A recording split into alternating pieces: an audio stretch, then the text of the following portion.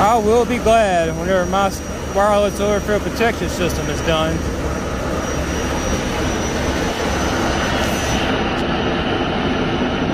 Nothing up here. No gauges. Nothing. Wireless gauge right there.